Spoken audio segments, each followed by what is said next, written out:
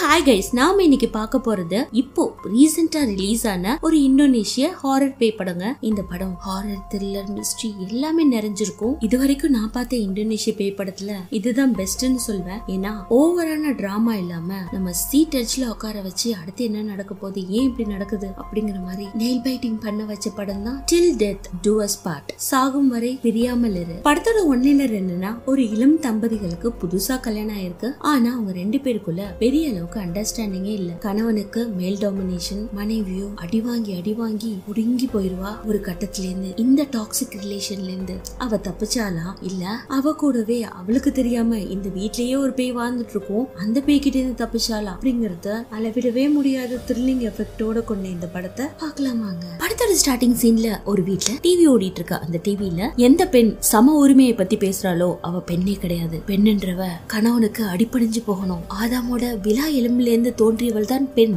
ஏவாள் அதனால பெண் அடிமையா தான் இருக்கணும் அப்படின்னு டிவில ஓடிட்டு இருக்க அந்த சமயத்துல ஒரு குட்டி பொண்ணு அப்பா அம்மா டாலை வச்சுக்கிட்டு இவள மாதிரியே இன்னொரு டாலை டேபிள் மேல வச்சுட்டு அப்பா அம்மா நான் வீட்டுக்கு வந்துட்டேன். நீங்க சந்தோஷமா இருக்கீங்களா? நம்ம சாப்பிடலாமா? அப்படின்னு தனக்கு தானே பேசிக்கிட்டு விளையாண்டுட்டு இருக்கா அந்த சமயத்துல உங்க அப்பா அம்மா ரெண்டு பேருக்கும் பயங்கரமான சண்டைங்க. அப்பா அம்மா போட்டு பயங்கரமா அடிக்கிறாரு. அதை பார்த்துட்டு இந்த பொண்ணு அவ எந்த டேபிள்ல விளையாண்டுட்டு இருந்தாலும் அந்த டேபிள் கடியில வந்து ஒளிஞ்சிட்டு காதை பொத்திக்கிறா. இதுல விடாம இந்த டிவி வேற. பெண் அடிமையா தான் இருக்கணும் பெண் அடிமை பொறுமையா தான் இருக்கணும்னு சொல்லிக்கிட்டே இருக்குது. அந்த பக்கம் அவங்க அப்பாவும் அம்மாவை பயங்கரமா அடிச்சு போட்டுட்டு போயிடுறாரு. கொஞ்ச நேரத்துல அவங்க அம்மா இந்த சின்ன குழந்தைகிட்ட வந்து வாமா நம்ம ஜெபம் பண்ணலாம். நமக்காக கடவுள் இந்த வாழ்க்கையை கொடுத்திருக்காரு. இந்த வாழ்க்கையில இருந்து நம்ம எப்பவுமே விலகி போக கூடாது அப்படின்னு சொல்லிட்டு பயங்கரமா தேம்பி தேம்பி அழுதுகிட்டே ஜெபம் பண்றாங்க. இந்த குழந்தையும் கண்ணை மூடிக்கிட்டு அம்மா அழுகிறத கவனிச்சுட்டு கண்ணை திறந்து அம்மாவையே பார்த்துட்டு இருக்கா அதோட அந்த சீன் கட் ஆகுது. அடுத்து கிராண்டான மேரேஜுக்கு அதே பொண்ணுக்கு தான் அந்த குட்டி பொண்ணா இருந்தா இல்லையா? அவளுக்கு இப்ப கல்யாணம். மாப்பிள்ளையோட பேர் எட்வின் இவளோட பேர் ரென் ரெண்டு பேரும் அழகா மோதிரம் மாத்தி கல்யாணம் பண்ணி எல்லாரோட ஆசீர்வாதங்களோட அவங்க குடும்ப வாழ்க்கையை ஸ்டார்ட் பண்றாங்க. அந்த சீன் அதோட கட் ஆகுது. திரும்பவும் ஒரு இருட்டு அறையில தலைவிரி கோலமா உலகத்துல இருக்க முத சுகத்தையும் மூஞ்சில வச்சுக்கிட்டு அவளோட முன்னாடி தேர்ட் ஆனிவர்சரிக்கான கேக்கையும் வச்சுக்கிட்டு நம்ம ஹீரோயின் உட்காந்துட்டு இருக்கா. இதுல என்ன தெரியுது? அவ கல்யாணம் பண்ணிட்டு போன இடத்துல நல்லா வாழல. அவளோட அம்மா ஒரு பங்கு சித்திரவதை அனுபவிச்சாங்கன்னா அதுக்கு மேல பத்து மடங்கு இவ அனுபவிச்சுட்டு இருக்கா. இருந்தாலும் அவனோட ஞாபகத்திலேயே வாழ்ந்துட்டு இருக்காங்க. பொண்டாட்டி பேர்ல எந்த ஒரு மதிப்போ மரியாதையோ அன்போ பாசமோ எதுவுமே கிடையாது. அவளை ஒரு வேலைக்காரி மாதிரி ட்ரீட் பண்றான். பார்த்தா அதுக்கு இவன் ஃபெமினைசர் வேற. கண்ணத்துல கையில தான் காயம் இருக்குன்னு பார்த்தா அவளோட துணியை விளக்கிட்டு அவ பாப்பாங்க உடம்பு முழுக்க காயங்களா இருக்கும். அந்த அளவுக்கு குடும்பக்காரன் இவன். எல்லா அரங்கேற்றமும் வீட்லயே நடக்கும். எல்லாத்தையும் சகிச்சுக்கிட்டு இவ ஒரு மரப்பாச்சி பொம்மை மாதிரி வாழ்ந்துட்டு இருக்கா. அப்படிதான். அன்னைக்கு ஆனிவர்சரி டேங்கிறதுனால அழகா சமைச்சு தன்னோட கணவனுக்கு சாப்பாடை கொண்டு வந்து கொடுப்பாங்க. அவனும் சாப்பிட்டுட்டு அப்படியே துப்பிடுறான். இந்த சமயத்துல அவனோட போனுக்கு ஒரு மெசேஜ் வர சந்தோஷமா பார்த்துட்டு நான் வெளியில சாப்பிட போறேன் அப்படின்ட்டு கிளம்பிடுறாங்க. கிளம்பினவன் திரும்பி இவள யாருமே வீட்டுக்குள்ள வரக்கூடாது. நீ வீட்டை விட்டு வெளியில போக கூடாது யார்கிட்டயும் பேசக்கூடாது. அப்படின்னு ஒரு கண்டிஷனையும் போடுறான். நான் உங்க ஆபீஸ் ரூமை திறந்து சுத்தம் பண்ணலாமா? அப்படின்னு இவன் பயந்துகிட்டே கேட்பா. என்னோட ஆபீஸ் ரூம்குள்ள எக்காரணத்தை கொண்டு நுழையக்கூடாது? அப்படின்னு அவள ஹாரஸ்மெண்ட் பண்றான். இவளோட பொழுதுபோக்கு என்னன்னா டிவியை போட்டு பாவாங்க அதுல வர சீரீஸ்ல எந்த அளவுக்கு ஹஸ்பண்ட் ஒன்னு பேசுறாங்களோ அதே மாதிரி இவ மனப்பாடமே பண்ணி அந்த ஹீரோயின் பேசுற மாதிரியே பேசிக்கிட்டு இருப்பா. இதான் இவளோட பொழுதுபோக்கே. ஆனா இந்த சீரீஸ் பாக்குறத கூட கொஞ்சம் பயந்து பயந்து தான் பாப்பா. ஒரு நாள் அப்படிதான் சீரீஸ் பார்த்துட்டு இருக்கா அயன் பண்ணிக்கிட்டே அந்த சமயத்துல வெளியில ஏதோ கதவு தட்டப்படுது. பயந்து போனவ தலையெல்லாம் சரி பண்ணிக்கிட்டு டிவி எல்லாம் ஆஃப் பண்ணிட்டு கிடக்குறதுன்னு வெளியில போய் யார் என்னன்னு பார்த்தா பக்கத்து வீட்ல இருந்து ஒரு அம்மா உனக்காக கேக் பண்ணிருக்கேன் நீ சாப்பிடுறியாமா இங்க உன்னோட கணவன் வீட்ல இல்லையா? நான் வீட்டுக்குள்ள வரவா? அப்படின்ட்டு வீட்டுக்குள்ள வர ட்ரை பண்ணா ஹீரோயினோ டக்குன்னு வெளியில வந்துடுறா. அவங்க கையில இருக்க கேக் வாங்கிட்டு ரொம்ப நன்றி அப்படின்னு சொல்லிட்டு கதவை சாத்த போறா. அந்த சமயத்துல மாயா அங்க என்ன பண்ணிட்டு இருக்க? எதுக்காக அவ வீட்டுக்கு போன? அப்படின்னு இன்னொரு வீட்ல இருந்து ஒரு கப்பல்ஸ் வெளியில நின்னு இவங்கள கூப்பிடுறாங்க. டக்குன்னு திரும்பி பார்த்தவங்க இல்ல இவளுக்காக கேக் பண்ணிருந்தேன். அதை கொடுக்கலான்னு வந்தேன். அப்படின்னு சொல்ல அந்த கப்பல்ஸோ நம்ம ஹீரோயின் கிட்ட வந்து ஏமா இந்த வாழ்க்கை உனக்கு தேவைதானா? நீ வேற எங்கேயாவது போய் உன்னோட புது வாழ்க்கை ஆரம்பிக்க கூடாதா? உங்க வீட்டுல நடக்கிறது எங்களுக்கெல்லாம் ரொம்ப கஷ்டமா இருக்கு. இது குடும்ப கொடுத்தன வாழ்ற இடமா? அப்படிங்கிற மாதிரி அந்த அம்மா சொல்லிட்டு லிப்ட்ல போறாங்க. அந்த ஃப்ளோர்ல இருக்க எல்லாருமே லிப்ட்ல ஏறினோன்னு அந்த லிஃப்ட்டும் போயிடுது. இவ வீட்டுக்குள்ள சோகமா வரா. அடுத்த சீன்ல அந்த அமைதியா இருக்க வீட்டுக்குள்ள டைனிங் டேபிள் மேல இருபத்தெட்டு அப்படிங்கிற நம்பர் சொருகப்பட்ட ஒரு கேக் இருக்கு. அதுக்கு முன்னாடி உட்காந்துக்கிட்டு அழுதுட்டு இருக்காங்க. அந்த நேரத்துல விடாம போன் அடிக்க. போனை போய் அட்டன் பண்றா. ஆப்போசிட்ல இந்த பொண்ணோட அம்மா அம்மா உனக்கு லேட்டா கால் பண்ணதுக்கு என்ன மன்னிச்சிரு நான் அப்பாவை பாத்துக்க வேண்டியது இருந்துச்சு. அப்படின்னு அம்மா ஹாப்பி பர்த்டே விஷ் சொல்ல அவளும் தேங்க்யூன்னு சொல்லிடுறா. ரொம்ப நேரம் வெயிட் பண்றாங்க. அந்த கடங்காரம் வந்த பாடு இல்ல. சரின்னு அந்த கேக்கு தூக்கி ஃப்ரிட்ஜில் வச்சுட்டு வெயிட் பண்ணிட்டு இருக்கா. அடுத்த சீன்ல நேரம் வீட்டுக்குள்ள வரான். வந்தவன் அப்படியே ட்ரெஸ் எல்லாம் கழட்டிட்டு பெட்ல படுத்துப்பானா. இவளுக்கு ஒரு விஷயம் இல்ல. ஒண்ணுமே இல்ல. இவளோ இவ்வளவு ஃப்ரிட்ஜ்ல இருக்க கேக்க திறந்து பார்த்துட்டு அப்படியே கண்ணீர் வடிக்கிறா. அடுத்த சீன்ல ஏதோ கடைக்கு போயிட்டு வருவா போல இருக்குங்க. எப்படி போயிட்டு வரா பாருங்க. குனிஞ்சு தலை நிமிராம ஒரு ரோபோட் மாதிரி கடகடன் போயிட்டு குனிஞ்சுக்கிட்டே செக்யூரிட்டி வணக்கம் வைப்பான். அதை கூட ரெஸ்பான்ஸ் பண்ணாம லிப்ட்ல அப்படியே போவா. அக்கம் பக்கம் பேசினா அந்த அண்டாவாய் அவளை கொண்டுடுவான் போல இருக்கு. அதனால நடுங்கி ஒடுங்கி போவா. வீட்டுக்கு போனவ கிட்டே ஒரு போட்டோ உடஞ்சு கிடக்குறது பாப்பா. நின்று அந்த கிளாஸ் எல்லாம் பொறுமையா எடுத்து வைப்பா. சோஃபா கடையிலயும் கொஞ்சம் கிளாஸ் போயிருக்கும். அதே பொறுக்கும் அந்த சமயத்துல அங்க ஒரு பெண்டன் மாதிரி ஒண்ணு கிடக்குங்க. அதை கையில எடுத்து வச்சுக்கிட்டு அப்படியே சோகமா டிவி பார்த்துட்டு இருக்கா அந்த சமயத்துல டிவிலையும் இவ மனநிலைக்கு ஏத்த மாதிரியே ஒரு சீன் ஓடிட்டு இருக்கு என்னோட கணவன் என்னை எடுத்துக்கிட்டது. உனக்கு அசிங்கமா இல்லையா? எனக்கு இப்படி துரோகம் பண்றியே அப்படின்ற சீன் எல்லாம் ஓட இவளும் அந்த டிவியை பார்த்து அதே மாதிரி பேசிட்டு இருக்கா ஆனா கணவனை எதிர்த்து கேக்குற தைரியமே இல்ல இவளுக்கு. டிவியை பார்த்து மட்டும் பேசுவா போல இருக்கு. அடுத்த சீன்ல இவ துணி துவைக்கலான்னு போறாங்க. அந்த சமயத்துல லிப்ட்ல போய் ஏறிடுவா. இவ போற ஃப்ளோர்ல ஒரு பொண்ணு நடந்து வரா. சரி அவளுக்காக வெயிட் பண்ணலாம் அப்படின்ட்டு லிப்ட ஓபன்லயே வச்சிருப்பா. அந்த பொண்ணும் பயங்கர மாடர்னா இல்ல சிகாலாம் வச்சுக்கிட்டு இவ பக்கத்துல லிப்ட்ல வந்து நிக்க இவ அடிச்சு பாக்குறா. என்ன அப்படி பாக்குற? உன்னை இந்த அபார்ட்மெண்ட்ல என்ன சொல்லுவாங்க தெரியுமா? மனைவியா உன்னை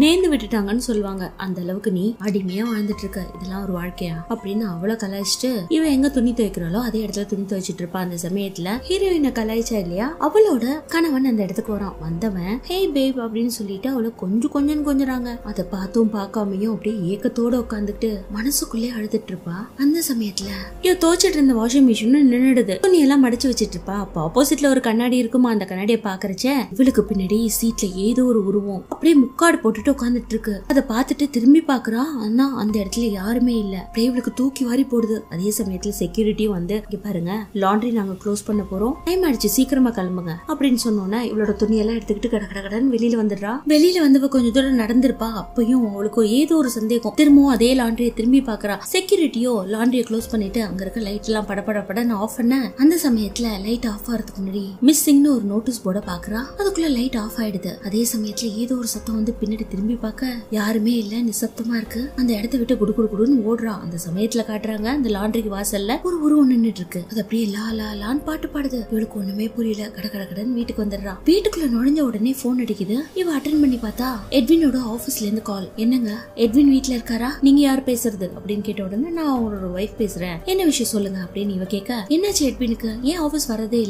எப்ப கால் பண்ணாலும் அவர் போன் அட்டன் பண்ண மாட்டாரு வீட்டுக்கு கால் பண்ணாலும் ரெஸ்பான்ஸ் பண்ண மாட்டாரு எதுக்காக ஆபீஸ் வரல? அவருக்கு உடம்பு சரியில்லையா? அப்படின்னு ஆபீஸ்ல இருந்து ஒரு லேடி இவ்வளவு கேள்வி கேட்க இவளுக்கு ஒண்ணுமே புரியாம அப்படியே அமைதியா போன கேட்டுட்டு இருக்கா? அந்த சமயத்துல திடீர்னு எட்வின் வீட்டுக்கு வருவானா? யாரு போன்ல என்ன சொன்னாங்க? அப்படின்ட்டு இவ்வளவு அதட்ட ஒண்ணும் இல்ல உங்க ஆபீஸ்ல இருந்து கால் வந்துச்சு அப்படிங்கிறா. அடுத்து இவங்க ரெண்டு பேரும் சாப்பிட்டுட்டு இருக்காங்க. அந்த சமயத்துல ஏங்க ரொம்ப நேரம் ஒர்க் பண்றீங்க வீட்டுக்குள்ள ஆபீஸ் ஒர்க்குன்னு லேட் நைட் கூட ஒர்க் பண்றீங்க. ஆனா ஆபீஸ்க்கு மட்டும் போறது இல்ல உடம்பு ஏதாவது சரியில்லையா? அப்படின்னு கேட்க என்ன பார்த்தா உடம்பு சரியில்லை இல்லாத மாதிரியா இருக்கு. நல்லா தானே இருக்கேன். வீட்டை மட்டும் தான் நீ கவனிச்சுக்கணும். அதை விட்டுட்டு ஆபீஸ் ஒர்க்குள்ள மூக்க நழிச்ச அவ்வளவுதான் அப்படின்ட்டு ஏதோ ஒரு மெசேஜ் வந்தோன்னா சாப்பாடு அப்படியே வச்சுட்டு ஏஞ்சி போயிடறான். இவ்வளவு டிசப்பாயிண்ட் ஆயிரா எப்பவுமே அவ பிரஷ் பண்ணிட்டு தூங்குறது வழக்கம். அவ பிரஷ் பண்ணிட்டு அந்த பிரஷ்ஷ கூட கரெக்டா வைப்பாங்க. பிங்க் ப்ளூன்னு ஆனா அது இடம் மாறி இருக்கும். ரெண்டு மூணு தடவை அதை மாத்தி மாத்தி வைப்பா. இந்த தடவை அதே மாதிரி மாறி இருக்கிறதுனால திரும்பி மாத்தி வைக்கிறா. வீட்டுக்குள்ள யார் இருக்கா? யார் இதை மாத்தி வைக்கிறா? அப்படின்ட்டு இவக்குள்ள ஒரு பயம் வேற. அந்த சமயத்துல ஏதோ ஒண்ணு இவ்வளவு கிராஸ் பண்ணி போகுது. சடார்னு திரும்பி பார்த்தா யார் யாருமே இல்ல. அதே சமயத்துல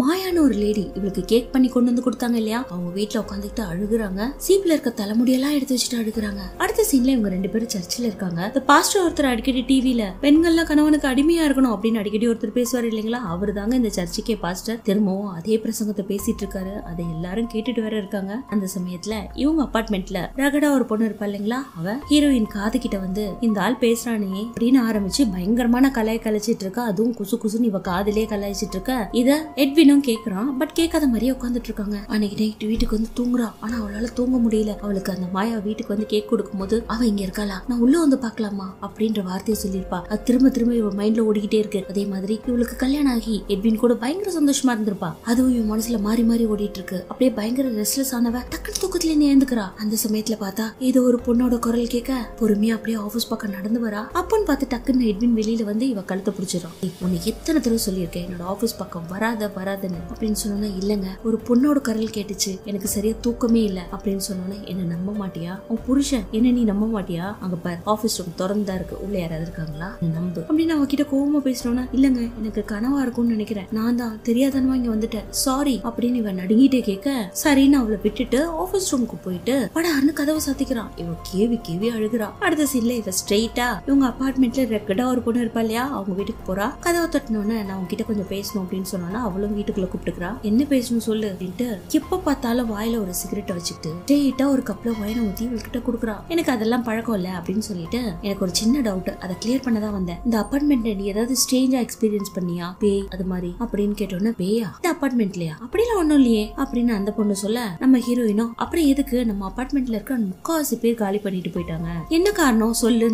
இந்த அப்பார்ட்மெண்ட் பழசாயிடுச்சு. அதனால எல்லாரும் காலி பண்ணிட்டு போறாங்க. ஈவன் நான் கூட சீக்கிரமா காலி பண்ணிட்டு போக போறேன். ஆனா பேய் பூதம்னு இது வரைக்கும் நான் எதையுமே பார்த்தது இல்ல அப்படின்னு சொல்ல சரி எனக்கு லேட் ஆயிடுச்சு நான் கிளம்புறேன் அப்படின்னு ஹீரோயின் கிளம்பும் போது சரி நீ கிளம்புறதுதான் கிளம்புறேன் ஒரு வாய் இந்த திராட்சை சதத்தை குடிச்சிட்டு போலாமே அப்படின்ட்டு கப்ப நீட்டேன். அவ்வளவுதாங்க ஹீரோயின் அடுத்த சீன்ல கப்ப வாங்கினவ பாட்டிலோட நிக்கிறா. பயங்கரமா பூஸ் பண்ணிட்டு ஆம்பளைங்க எல்லாம் கெட்டவங்க கெட்டவங்கன்னு திரும்ப திரும்ப ரெண்டு பேரும் மாத்தி மாத்தி சொல்லிக்கிட்டு என்ஜாய் பண்றாங்க. அவ மனசுக்குள்ள இருந்த மொத்த ஆதங்கத்தையும் கொட்டி தீக்குறா. இருந்தாலும் அவகிட்ட கூட தன்னோட கணவனை விட்டு கொடுக்க மாட்டாங்க. ஒரு கட்டத்துல இவளை பத்தி அடிக்கிறது எல்லாத்தையும் விசாரிக்கவும் இவ டக்குன்னு என்னோட ஹஸ்பண்ட் அப்படி கிடையாது. அவர் நல்லவர். லேட் ஆயிடுச்சு. நான் இங்க வந்தது எட்வினுக்கு தெரிய வேணாம் அப்படின்னு சொல்லிட்டு கிளம்பிடுறா. அடுத்து அவ வீட்ல இருந்து குப்பையெல்லாம் கொண்டு வந்து குப்பை தொட்டில கொட்டுவாங்க. இந்த சமயத்துல இவ கொட்டின கவரோட குப்பைகள் எல்லாம் கிழிச்சுக்கிட்டு கீழே கொட்டும். அதுல ஒரு லிப்ஸ்டிக்கும் விழும். என்னடா அது? நம்ம வீட்ல இருந்து குப்பையை கொண்டு வந்து கொட்டுறோம். அதுல இருந்து லிப்ஸ்டிக் விழுதே அப்படின்னு அந்த லிப்ஸ்டிக்கை மட்டும் கையில எடுத்துப்பா. நேரா அவ ட்ரெஸ்ஸிங் டேபிள்ல ஃபர்ஸ்ட் ஒரு பெண்டன்ட் எடுத்தாலா இப்போ ஒரு லிப்ஸ்டிக் அதையும் ஒரு சின்ன பாக்ஸ்குள்ள போட்டு மூடி வச்சிடறா. இந்த சமயத்துல விருட்டுன்னு ரோட்ல கிராஸ் பண்ணி ஏதோ ஒரு வெள்ள உருவம் போக டக்குன்னு எழுந்து வந்தவ அப்படியே சடனா நிக்க ஆப்போசிட்ல எட்வின் வந்து நிக்கிறான். அவனை பார்த்து இவ ரொமான்டிக்கா லுக் விட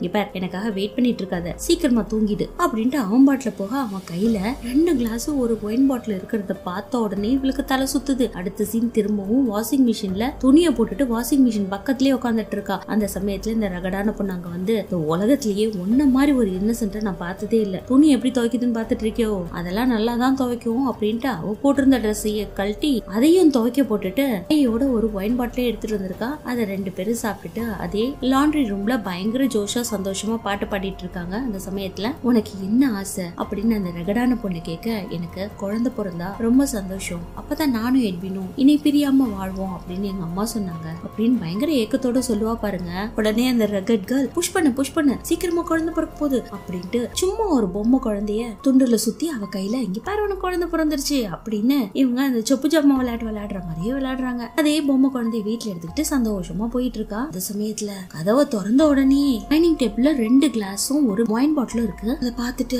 அப்படியே கிட்டக்க நெருங்கி போறா. அந்த கிளாஸ்ல இருக்கிற லிப்ஸ்டிக் கரையும் பாக்குறா அதே ரெட் கலர் லிப்ஸ்டிக் அந்த சமயத்துல விருட்டுன்னு ஒரு உருவம் இவ பின்னாடி போக டக்குன்னு திரும்பி பாக்குறா யாரையும் காணும் பயந்துகிட்டே அப்படியே போவாங்க. ஆபீஸ் ரூம் இருக்கும். ஆபீஸ் ரூமுக்கு தான் வரக்கூடாதுன்னு சொல்லிட்டானே. என்ன பண்றதுன்னு தெரியாம மண்டே குழப்பிக்கிட்டு பயங்கர நடுக்கத்தோட டைனிங் டேபிள புடிச்சிட்டு நிப்பா. அந்த சமயத்துல பாத்ரூம்ல டேப் யாரோ திறந்து விட்ட சத்தம் கேட்கும் டக்குன்னு இவ பொறுமையா? பாத்ரூம் கிட்ட போய் பாக்குறா. மோ அந்த பிரஷ் மாறி இருக்கு. தண்ணி ஓபன்ல இருக்கு. டேப்ப க்ளோஸ் பண்ணிட்டு அப்படியே நிப்பா பாருங்க. இவளுக்கு பின்னாடி ஏதோ சத்தம் கேட்கும் அங்க இருந்து வெளியில வந்து பாக்குறா. எதுவுமே இல்ல. கபோர்டோட டோர் மட்டும் ஓபன்ல இருக்கு. அதை க்ளோஸ் பண்ணுவா பாருங்க. அதுல இருக்க கண்ணாடியில இவளுக்கு பின்னாடி ஒரு கதவு இருக்கும். அதுக்கு பக்கத்துல ஒரு பொண்ணோட உருவம் நிக்கிற மாதிரி இருக்கும். அதை பார்த்த உடனே இவளுக்கு தூக்கி வாரி போட்டுருது. டக்குன்னு திரும்பி பாக்குறா. ஒண்ணுமே இல்ல. என்ன பண்றதுன்னு தெரியாம அந்த கதவையும் சாத்திட்டு வெளியில வரா? அப்போ அந்த ரூம்குள்ள கபோர்டு சாத்தினா இல்லைங்களா? அந்த ரூம் ரூம்குள்ள லா லா லா பாட்டு மட்டும் கேக்குது. அது அப்படியே முத்தோட செவரா காது வச்சு கேக்குறா. இல்ல கிளியரா அவளுக்கு கேக்குது. அப்படியே நடுங்கி போய் நிக்கிறா. அதே சமயத்துல அபார்ட்மெண்ட் அப்படியே கேமரா ஊடுருவி போக மாயான ஒரு அம்மா கேக் கொடுக்க வந்தாங்க இல்லையா? அவங்க வீட்டு கேமரா போக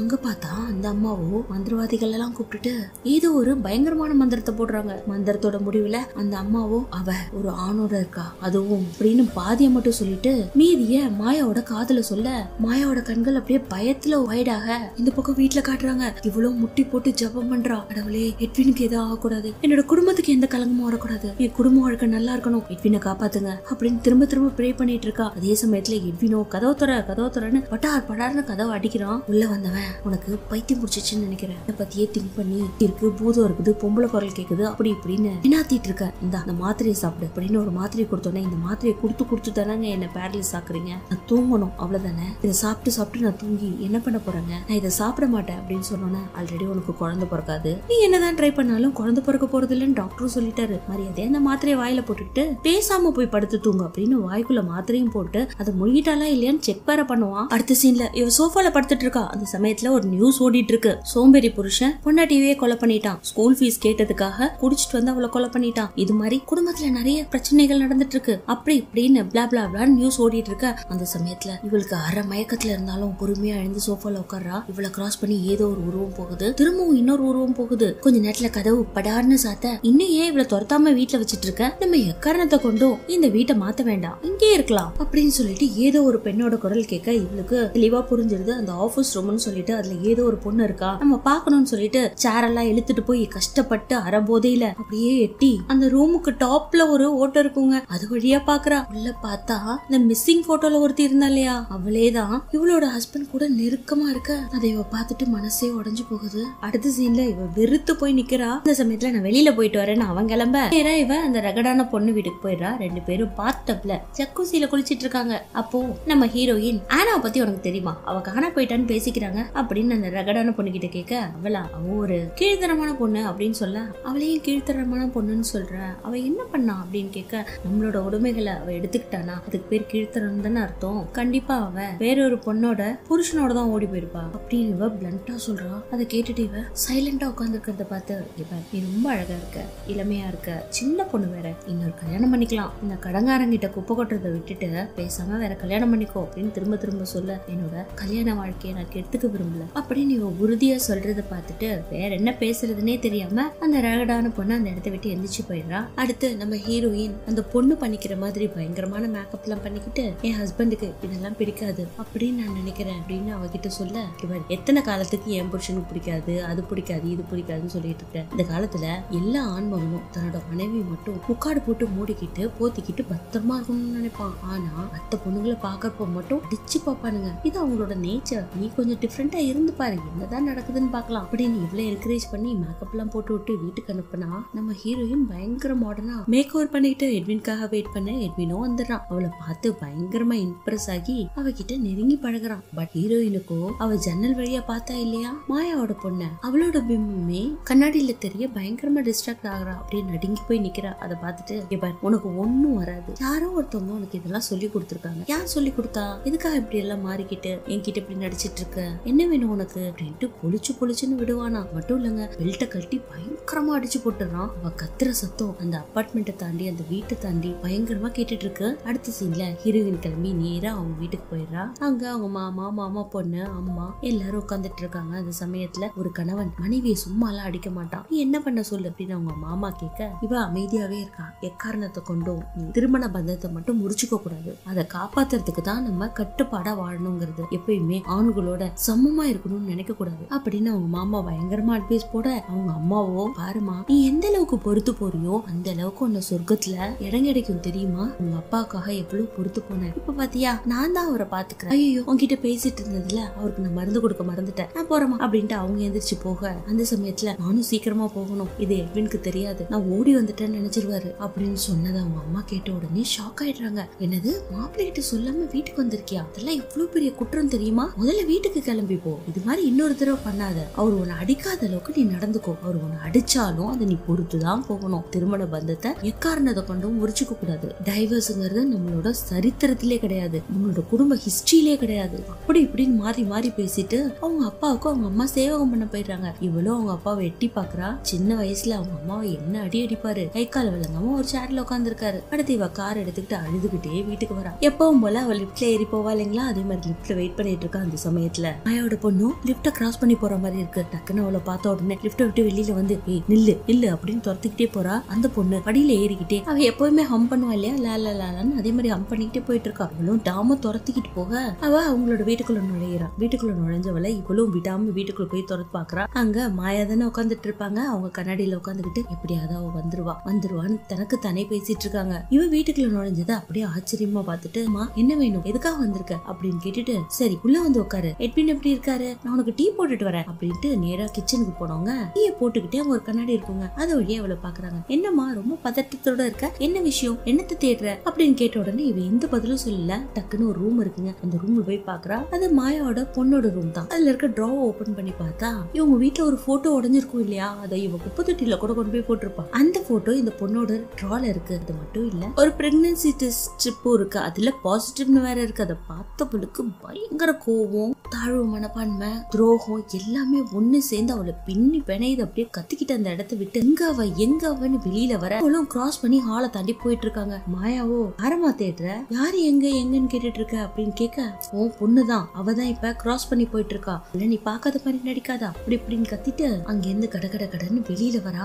தன்னோட கணவன் அவளை அடிக்கும் போது உனக்கு குழந்தை பெற்றுக்க தகுதி இல்லை நீ ஒரு அம்மா வாரத்துக்கு தகுதி இல்லை. இதை டாக்டரே சொல்லிட்டாரு. கடவுளுக்கும் தெரியும்னு பயங்கரமா சத்தம் போட்டிருப்பான். அது மனசுல அப்படியே திரும்ப திரும்ப ஓடிட்டு இருக்கு என்னால அம்மா ஆக முடியாது. அதனாலதான் இல்லீகல் அஃபேர் வச்சுக்கிட்டு இவ இப்ப பிரெக்னெண்டா இருக்க போல இருக்கு? அப்படின்னு தன்னையே கன்ஃபியூஸ் பண்ணிக்கிறா. இவளோட வீட்டு பக்கத்து வீடு தானே அந்த ரகடான பொண்ணு வீடு? அவ வேற வீட்டு வாசல்ல நின்னே தம் அடிச்சிட்டு இருக்கா ஹீரோயின் வரதை பார்த்துட்டு இன்னும் உனக்கு எட்வின் தான் வேணுமா? அவன் எவ்வளோ ஒன்று அடித்தாலும் அவன் வீட்டு போகணும்னு உனக்கு தோணலையா? அப்படின்னு நீ எனக்கு அட்வைஸே பண்ணாத. எனக்கு யாரோட அட்வைஸும் வேணாம்னு சொல்லிட்டு கத்து கத்துன்னு கத்திட்டு இவன் வீட்டுக்குள்ள போய் கதவை சாத்திக்கிறா. இந்த பொண்ணும் இங்க பாரு நீ எவ்வளோ அழகா இருந்தாலும் நீ எவ்வளோ புத்திசாலியா இருந்தாலும் வீண் உன் மேல உண்மையான அன்பே வச்சில்ல. சொல்றத கேளுறேன் அப்படின்னு அந்த ஃப்ளோரே அதிர்ற மாதிரி கத்துறா. துக்கத்தோடையும் அதே துக்கத்தோடையும் துயரத்தோடையும் போய் பெட்ல படுத்திருப்பாங்க. அப்படியே பார்த்தா அவளுக்கு இந்த கல்யாணம் ஆகும்போது ஒரு சத்திய பிரமாணம் பண்ணுவாங்க இல்லையா? நான் உன்னோட சாவர வரைக்கும் ஒன்னா இருப்பேன் அப்படின்ற மாதிரி கணவன் சொல்றதும் மனைவி சொல்றதும் அதுக்கப்புறம் மோதிரம் மாத்திக்கிறதும் அன்பு பகிர்ந்துக்கிறதும் இது எல்லாமே உன் மனசுல ஓடிட்டு இருக்கு அதை நினைச்சுக்கிட்டே இன்னும் வாழ்ந்துட்டு இருக்கா அந்த ஒரு நிமிஷம் இருக்கு இல்லைங்களா? அது மட்டும்தான் இவளுக்கு நினைவிலே இருக்கு. அப்படியே அவ கனவுல ஓடி முடிச்சோன்னா பக்கத்துல திரும்பி பாக்குறா. எட்வின் ரொம்ப பாசமா படுத்துக்கிட்டு எதுக்காக அழுகுற? அப்படின்னு கேட்க "நீ என்னை விட்டு போயிட மாட்டியே. அப்படின்னு அவங்கிட்ட ப்ராமிஸ் வாங்குறா. அப்படியே தூங்கியும் போயிடுறாங்க. இவ இதுவரைக்கும் கண்டதெல்லாம் கனவு. தூக்கத்துல இருந்து எழுந்திருச்சவ பக்கத்துல பாக்குறா. எட்வினே காணும். அது ஒரு பெரிய விஷயமே இல்லையா? தலையெல்லாம் சரி பண்ணிக்கிட்டு பெட்லயே உட்காந்து உட்காந்துருப்பா பாத்தீங்கன்னா யாரோ ஒருத்தவங்க ட்ரெஸ்ஸிங் டேபிள்ல உட்காந்து மேக்கப் பண்ணிட்டு இருக்க மாதிரி இருக்கும். இவ என்ன ஏதுன்ட்டு போய் எட்டி பாப்பா.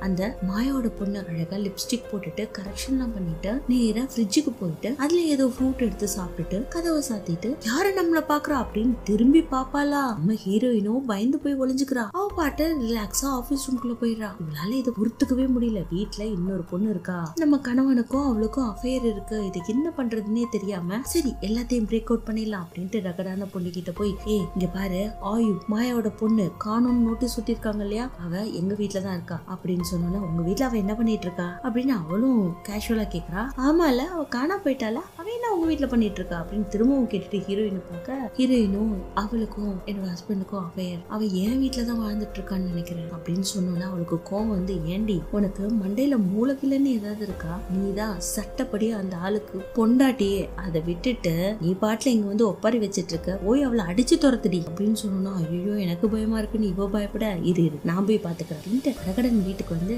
அவகிட்ட பயங்கரமா சண்டை போட்டுட்டு இருக்கா. கை கலப்பே ஆகுது. எல்லாத்தையும் இவ அந்த ரகடான பொண்ணு வீட்ல இருந்து கேக்குறாளே ஒழிய என்ன சண்டை நடக்குதுன்னு போய் பார்க்கவே இல்ல. கொஞ்ச நேரத்துல சத்தமும் அடங்கிருது. என்னாச்சு அப்படின்ட்டு பொறுமையா ஹீரோயின் வீட்டுக்கு வந்து பாக்குறா. அந்த இடத்துல ஆனா அதான் மாயோட பொண்ணு கத்தி குத்தப்பட்ட நிலைமையில வாயில இருந்து ரத்தம் வந்து உயிரே போயிடுச்சுங்க செத்து போய் கிடக்குறா. ஏ அவளை உன்னை வீட்டை விட்டு துரத்த தானே சொன்னேன். அதை விட்டுட்டு எதுக்கு கொன்ன அப்படின்னு ரகடான பொண்ணை பார்த்து கேட்டோன்னே பாரியா இவளெல்லாம் உயிரோட விட்டதே தப்பு. அப்படின்னு ஹீரோயினை பார்த்து கேட்டோன்னே பாரு எனக்கு இதுக்கும் சம்மந்தம் இல்ல. நான்லாம் ஏத்துக்க மாட்டேன். நீ தான் கொலை பண்ணிட்ட. அப்படின்னு சொன்ன உடனே ஏது ஏது? சும்மா இருந்தவள? நீ உசுப்பேத்தி இவளை கொலையும் பண்ண வச்சுட்ட. இப்ப எனக்கு சம்மந்தம் இல்லைன்னு சொல்ற. யாராவது ஒருத்தவங்க நான் கொலை பண்ணேன்னு சொன்னா நம்புவாங்களா? போலீஸா இருந்தாலும் சரி பொதுமக்களா இருந்தாலும் சரி பொண்டாட்டிக்கு தான் பொறாம பொறாமையில தான் கொன்னுட்டா அப்படின்னு பழி ஓமையில தான் வரும். பரவாயில்லையா? அப்படின்னு அவளை பார்த்து கேட்ட உடனே அவளும் பயந்துரா சரி இப்ப என்ன பண்ணலாம்? சொல்லணும்னா என்ன பண்றது? டிஸ்போஸ் தான் பண்ணணும் அப்படின்னு சொல்லிட்டு இவங்க ரெண்டு பேர் கார் எடுத்துட்டு போறாங்க ஒரு ஏரி மாதிரி இருக்கு. அந்த இடத்துல சூட்கேஸ்ல வச்சு ஆனாவோட பாடியை டிஸ்போஸ் பண்ணிட்டு வந்துடுறாங்க. வீட்டுக்கு வந்துட்டு பயந்துட்டே உட்காந்துட்டு இருக்கா. எட்வினும் வரான். வந்ததுக்கு அப்புறம் சாப்பிடுறீங்களா? அப்படின்னு பொறுமையா கேட்டுட்டு கிண்ணர்லாம் எடுத்து வைக்கிறா. வந்தவனும் ஸ்ட்ரெயிட்டா ஆபீஸ் ரூம்குள்ள தானே போவான். போனவன் கேஷுவலா வெளியில வரான். கேஷுவலா சாப்பிட்டுட்டு இருக்கான். அந்த சமயத்துல பார்த்தா நம்ம ஹீரோயினோட கையை மட்டும் நடுங்கும் பாருங்க.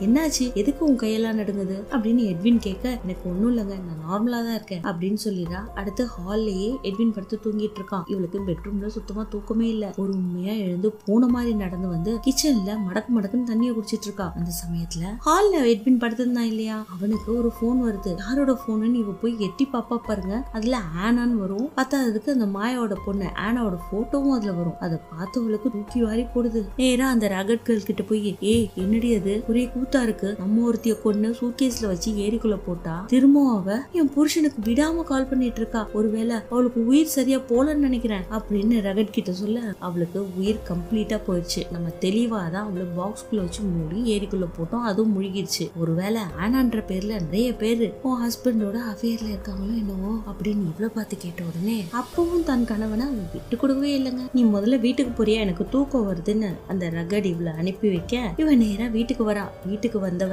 அடி மேல அடி வச்சு போன மாதிரி தாங்க வரா. ஆல்ரெடி வீட்டு கதவு திறந்து தான் கிடக்குது. சோ வீட்டுக்குள்ள ஏதோ கருக்கு முறுக்குன்னு சத்தம் கேட்க பொறுமையா வந்து பார்க்குறா ஆபீஸ் ரூம் கதவை. மாயா நின்று ஓபன் பண்ணிட்டு இருக்கா. அதை பார்த்த உடனே இவளுக்கு ஷாக்கு இங்க என்ன பண்றீங்க? அப்படின்னு கேட்ட உடனே எல்லாம் தெரியும். இந்த வீட்டில் என்ன நடக்குதுன்றது தெரியும். இந்த ரூமை ஏன் திறக்காம வச்சிருக்கீங்க? அதனாலதான் நான் திறந்துட்டு இருக்கேன். அப்படின்ட்டு ஒரு கத்திரிக்கோலை கையில வச்சுட்டு இவளை மிரட்டிட்டு இருக்க டக்குன்னு ரகடு நடுவுல போந்து உனக்கு என்ன தெரியும்? முதல்ல என்ன தெரியும்ன்றது சொல்லு. அதுக்கப்புறம் கத்திரிக்கோலை வச்சு மிரட்டு. அப்படின்னு மாயா கையில இருக்க கத்திரிக்கோலை இப்ப பிடுங்கிடுறான் வயசான காலத்துல அந்த வயசான சந்தோஷத்தை அனுபவிச்சுட்டு சாவுமா? அப்படின்ட்டு சந்தோஷமா இருக்கணும். சும்மா இது தெரியும் அது தெரியும்ட்டு இன்வெஸ்டிகேஷன் எல்லாம் பார்க்க கூடாது கிளம்பி போ இங்க இருந்து அப்படின்னு அவளை மிரட்ட அந்த மாயா அம்மாவும் அந்த இடத்த விட்டு போயிடுறாங்க. அடுத்த சீன்ல மாயாமா வீட்டுல காட்டுறாங்க ஓடாத டிவியை உத்து பார்த்துக்கிட்டே உட்காந்துருக்காங்க அந்த சமயத்துல. யாரோ ஒருத்தவங்க முக்காடை போட்டுக்கிட்டு கத்திரிக்கோலாலேயே மாயா அம்மாவை ஓங்குறாங்க. அதோட அந்த சீன் கட் ஆகுது. அடுத்து நம்ம ஹீரோயின் ஏதோ பர்ச்சேஸ் பண்ணிக்கிட்டு நடந்து வந்துட்டு இருக்கா பார்க்கிங் ஏரியால பார்த்தா நிறைய பேர் கூடி நிக்கிறாங்க. என்ன ஏதுன்னு ஹீரோயின் கிட்ட போய் பாப்பா அப்போ டெட் பாடியை ஆம்புலன்ஸ்ல ஏத்திட்டு இருக்காங்க. அதை பார்த்துட்டு இது யாரோட டெட் பாடி அப்படின்னு கேட்க நம்ம ரெக்கார்ட் பக்கத்துல வந்து நின்றுட்டு வேற யாரு? மாயாமாவோட தான் அவங்கள நேத்து நைட் யாரோ கொண்டுட்டாங்களாம் அப்படின்னு சொன்னோன்னு நம்ம ஹீரோயினுக்கு திரும்பவும் தூக்கி வாரி போடுது. வீட்டுல பயந்துகிட்டே ட்ரெஸ்ஸிங் டேபிள் உட்காந்துட்டு இருக்கா அந்த சமயத்துல அவளுக்கு தெரிஞ்சிட போகுது நம்ம எல்லாத்தையும் சீக்கிரட்டா தான் பண்ணி ஆகணும் அப்படின்னு சொல்ல எட்வின் அதுக்கு நான் பாத்துக்கிறேன் அப்படின்னு சொல்றான். யாரு எட்வின் கூட பேசிட்டு இருக்கிறது அப்படின்னு பொறுமையா ஹால்ல வந்து பார்த்தா அந்த ரகடு எட்வின் கூட உட்காந்து ஹால்ல பேசிட்டு இருக்கா இவ ஹாலுக்கு வந்த உடனே எட்வின் டக்குன்னு சோஃபால இருந்து இருந்து சிங் டேபிள்ல இருக்க ஒயின் எடுத்து ஊத்திட்டு இருக்கான் அந்த சமயத்துல ரகட பார்த்து எதுக்காக நீங்க வந்த? நம்ம ரெண்டு பேரும் ஃப்ரெண்ட்ஸா இருக்கிறது இன்னும் என் புருஷனுக்கு தெரியாது. எல்லாத்தையும் நீ காட்டி கொடுத்துருவ போல இருக்கே. அப்படின்னு சொன்னோன்னா டக்குன்னு ரகட் சோஃபால இருந்து எழுந்து இவங்களோட போட்டோ இருக்குங்க. அதுவும் லேக் வியூல ஒரு போட்டோ எடுத்திருப்பாங்க. இவங்க டெட் பாடியை கொண்டு போய் டிஸ்போஸ் பண்ணாங்க இல்லையா? அந்த இடத்துல. அந்த போட்டோவை கையில எடுத்துக்கிட்டு இந்த ஏரிக்கரைய எங்கேயோ பார்த்த மாதிரி இருக்கு இல்லையா? அப்படின்னு நம்ம ஹீரோயின் கேட்டோன்னே அவளுக்கு இன்னும் நடக்கும் அதிகமாயிடுது. டக்குனு எட்வின் ஒயின் கிளாஸோட ரகட் கிட்ட வரா இங்க ரெண்டு பேரும் ஆல்ரெடி ஃப்ரெண்ட்ஸோ அப்படின்னு கேட்டோன்னா ஆமா நாங்க பக்கத்து பக்கத்து வீடு ஃப்ரெண்ட்ஸா இருக்க மாட்டோமா? அப்படின்னு சொல்லிட்டு அந்த ரகட் சிரிக்க இவளுக்கு ஒண்ணுமே புரியல. அப்படியே உட்காந்துட்டு இருக்கா. அந்த சமயத்துல எட்வின் டக்குன்னு எப்பவும் கொடுக்குற தூக்கு மாத்திரையை கொடுத்தோன்னே ஹீரோயினும் அதை டக்குன்னு போட்டுக்கிறா. இவளுக்கு அப்படியே அந்த தூக்கு மாத்திரை கொடுத்த ட்ரௌசில அரை போதையில அப்படியே சோஃபால உட்காந்துட்டு இருப்பாங்க. ஆப்போசிட் சோஃபால ரகடும் எட்வினும் உட்காந்து கொஞ்சம் கொஞ்சம் பேசிட்டு இருக்காங்க. எதுக்காக இன்னும் இவ்வளவு வச்சிட்டு இருக்க? சீக்கிரமா துரத்து விடு. நம்ம எங்கேயும் காலி பண்ணி போக வேணாம். இதே வீட்டுல இருக்கலாம். அப்படின்னு அவங்க ரெண்டு பேரும் பேசிட்டு இருக்கத இவ அப்படியே பார்த்துட்டு இருக்கா அடுத்த சீன்ல இவ எதையுமே தாங்க முடியாம தற்கொலை பண்ணிக்கலான்ட்டு பாத்டப்ல போய் தண்ணிக்குள்ள முழுங்கி தற்கொலை பண்ணிக்கிறா. அந்த சமயத்துல மூச்சு முட்டும் இல்லையா? அப்ப கண்ணை ஓபன் பண்ணி பார்க்க தண்ணிக்கு வெளியில இறந்து போன ஆனாவோட அவி நின்றுட்டு இருக்கு அது இவளை புடிச்சு தண்ணியிலேயே அப்படியே அமுக்க எப்படியோ அதுல இருந்து தப்பிச்சு எழுந்துச்சு உட்காந்துடுறா எழுந்து உட்காந்தா ஆனாவ காணும். அதை பதிச்சு போனவ திரும்பவும் பயங்கர ஃபோர்ஸோட ரகடோட வீட்டுக்கு போயிட்டு ஏ இங்க பாரு. நம்ம ஆனாவை டிஸ்போஸ் பண்ணோம் இல்லையா? அவ திரும்பவும் உயிரோட இன்னும் கொல்ல வந்துட்டா. அப்படின்னு சொன்ன உடனே நீ என்ன லூஸா உன் பிரச்சனையை ஏன் பிரச்சனைனே சொல்லி பேசிட்டு இருக்க ஆனாவோட பிரச்சனை உன்னோடது. அதுக்கும் எனக்கு எந்த சம்மந்தமும் இல்லை. அப்படின்னு சொல்லிட்டு அவன் நக்கலா சிரிக்க அப்பதான் அவளோட பெட்ரூம்ல எட்டி பாக்குறா எட்வின் தூங்கிட்டு இருப்பான் அதை பார்த்த உடனே என்னது இது? அப்படின்னு கேட்டு பயங்கரமா ஃபீல் பண்றா. எதையும் பொறுக்க முடியாதவ ஸ்ட்ரைட்டா வீட்டுக்கு வரா. முட்டி போட்டு ஜபம் பண்றா. எட்வினை காப்பாத்துங்க. ஏன் இவன் இப்படி பண்றான் அவன் இந்த திருமண பந்தத்தை உடைச்சிடக்கூடாது. அப்படி இப்படின்னு ப்ரே பண்ணிட்டு இருக்கும்போது ரகடோட வீட்டுல பயங்கரமா சத்தம் கேக்குது. ஆன்னு அலற சத்தம். என்ன என்னாச்சு? ஏதாச்சுன்னு ரகடோட வீட்டுக்கு போறான் அவன் போய் பார்த்தா ஃப்ளோர் எல்லாம் பெட்டா இருக்கு. அப்படியே பாத்ரூம்குள்ள ஒரு ரத்த குளமே இருக்கு. என்னன்னு பார்த்தா ரகட யாரோ குத்தி கொண்டு இருக்காங்க அப்படியே செத்து கிடக்குறா. அதை பார்த்துட்டு நேரா வீட்டுக்கு வந்து அவ கிச்சன்ல இருக்க டஸ்ட்பின் தேடி பார்ப்பாங்க. அதுக்குள்ள ஒரு கத்தி துணியை சுத்தப்பட்ட நிலையில பயங்கர ரத்த கரையோட இருக்கும். அதை எடுத்தவ டக்குன்னு கீழே போட்டுறான் அந்த சமயத்துல எட்வின் வரான் என்னத்த பாக்குற அப்படின்னு இவளை பார்த்து கேட்டோன்னே என்ன பண்ணீங்க? அந்த ரகடை என்ன பண்ணீங்க? அப்படின்னு கேட்டோன்னே நான் உன்கிட்ட பல தடவை சொன்னேன். நீ யார் வீட்டுக்கும் போக கூடாது யாரும் நம்ம வீட்டுக்கு வரக்கூடாதுன்னு. ஆனா நீ எனக்கு துரோகம் பண்ணிட்டு பக்கத்து வீட்டு பொண்ணோட ஃப்ரெண்ட்ஷிப் உனக்கு தேவையா? டிசோபே பண்றியா? என்னோட பேச்சு கேட்கலனா நான் மனுஷனாவே இருக்க மாட்டேன்னு தெரியும் இல்லையா? அப்படின்ட்டு ஹீரோயின் பலார்னு ஒரு அரை கொடுக்க அப்படியே அவன் மயங்கி விழுந்துடுறா. அடுத்த சீன் தூக்கத்திலே இழந்துக்கிறாங்க அந்த சமயத்துல வெளியில ஏதோ ஒரு சத்தம் கேக்குது. இங்க பாருங்க ரொம்ப நேரம் லேட் பண்ணாதீங்க. சீக்கிரமா வந்துருங்க. உங்களுக்காக நான் காத்துட்டு இருப்பேன் அப்படின்னு பயங்கர ரொமான்டிக்கான குரல்ல ரகட் எட்வின வழி அனுப்ப. இவளுக்கு ஒண்ணுமே புரியல. என்னது இது? இவ செத்து தானே கிடந்தா திடீர்னு இப்ப நம்ம வீட்டுக்குள்ள எட்வினுக்கு வழி அனுப்பிச்சிட்டு இருக்காளே அப்படின்ட்டு ரகட் உனக்கு ஒன்னும் ஆகலையா அப்படின்னு கேட்க எனக்கு ஒன்னும் ஆகல. உனக்கு தான். அரை மென்டலா இருந்த நீ முழு மென்டலா மாறிட்ட. ஆமா உனக்கு தான் எங்களோட பழக்க வழக்கம் தெரியும் இல்லையா? பேசாம நீ ஒதுங்கிக்கலாம்ல. தேவையில்லாம ஏன் எங்களை டிஸ்டர்ப் பண்ற? உன்கிட்ட நான் எத்தனை தடவை சொன்னேன் எட்வின் உன்னை சுத்தமா லவ் பண்ணல. அவன் உன்ன வெறுக்கிறான்னு சொன்னேன். நான் சொன்னதை நீ கேட்டியா? ஆனா என்னோட அட்வைஸே தேவையில்லன்னு தூக்கி எறிஞ்சிட்டு போனேன். அதான் உனக்கு நான் பெட் கட்டினேன். இப்ப பத்தியா எட்வின் என்னோட வலையில. உனக்கு ரொம்ப கெட்டணும் உனக்கு குழந்தை பெற்றுக்க முடியலனாலும் அவ பிரெக்னண்டா இருக்கிறது தெரிஞ்சுதான் நீ அவன் மேல கோவப்பட்டிய ஒழிய அவ எட்வின் கூட வச்சிருந்த ரிலேஷன்ஷிப்க்கு நீ எந்த கோவமும் படல. பேசாம தானே இந்த வீட்டுல சைலண்டா இருந்த. பயந்துகிட்டே தானே இருந்த. ஆனா அவ பிரெக்னண்டா இருக்கான்னு தெரிஞ்ச உடனே